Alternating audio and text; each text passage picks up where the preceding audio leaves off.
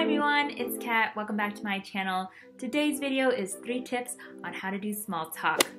As a new business owner, I realized how important and vital it is for me to go out there and meet new people because when you grow your community, you can learn from others, you can share your experiences, you can help each other out. It's just so important because you can't build a business on your own. I feel like when you go to networking events and do small talk, things like that, like it can be awkward and it can be awkward enough that you don't want to do it at all and just hide at home.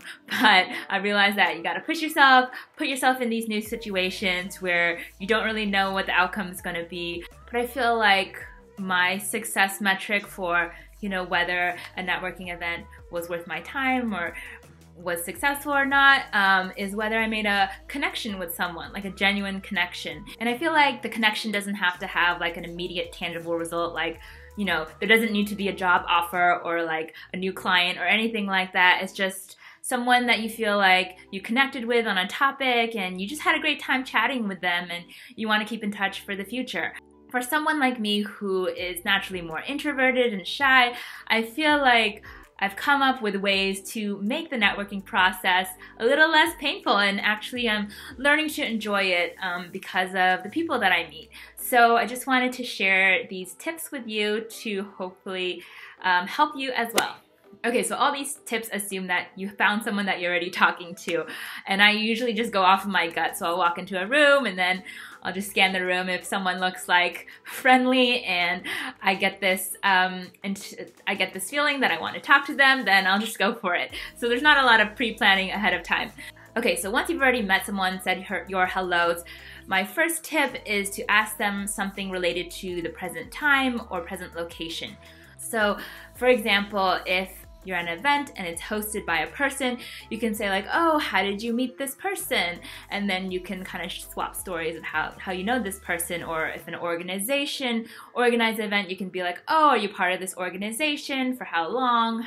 How involved are you? And stuff like that. So these question, this question can kind of lead to a stream of other questions in terms of timeliness, like, you know, if it's in the summertime, you can say, like, oh, did you just come back from vacation? Or are you going anywhere? Or if there's a holiday or a weekend coming up, you can be like, oh, do you have any plans for the weekend? Or even like, oh, do you have any plans for later in the day?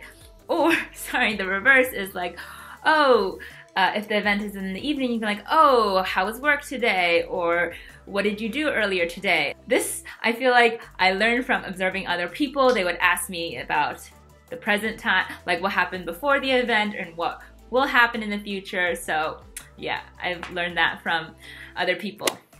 The second tip is to ask them about their story. And well, you don't want to use those exact words, but you know, find out like what do they do? Uh, where are they from? And where do they live? To help you get a mental image of this person's journey, I guess. Um, and that also is just lots of fodder for more questions. One thing you can do is if they've made like decision like they had to have made decisions along their their journey in life. So, you know, if they moved from one city to another, you can be like, "Oh, so what made you decide to move here?" or if they switch jobs. This is something that a lot of people ask me like, "Oh, how did you decide to become an entrepreneur?" or and how did you decide to leave Google? So there's all these questions that you can ask them related to how they made their decision. I feel like that is a great open-ended question because usually it's not a yes or no like one word answer. Usually I have to describe like a story or the context or they have to explain their thinking and so then that um, gives you more opportunity to connect. You can be like, oh, I felt that way too, and whatever.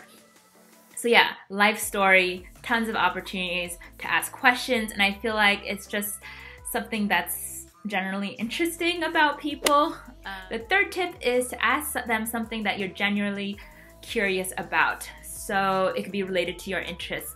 For example, I love going to restaurants and trying new things in the Bay Area. And so I love to ask people, what are your favorite restaurants? And so like if they give me a new restaurant, like I can be like, oh, like that's really useful. I can like bookmark it and um, try that out later. It's something where I'm genuinely interested in the answer, and I feel like the answer will be valuable to me. And I think people will be able to tell if you're gen if you're actually interested in their answer and listening.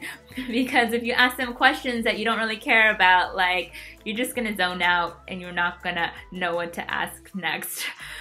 I think everyone loves to be helpful to others so you're just giving that opportunity to them to be helpful. Lastly my bonus tip is to share something about yourself because you don't want it to just be like an interview where you're just like firing away different questions and they're just answering.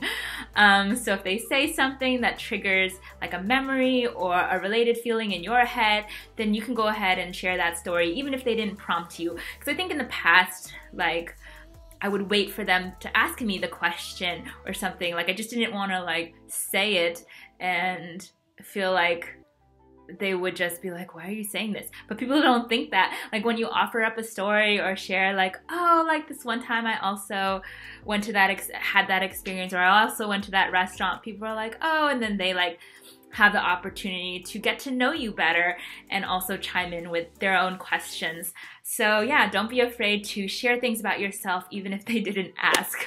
tips. Um, those are my tips for what I've learned about how to do networking so far. I'm by no means an expert. I'm very much a newbie at this, but I hope that these tips were helpful to you. If you have your own tips, definitely leave them in the comments below. I'd love to hear them. And thank you so much for watching. I will see you in the next one. Bye!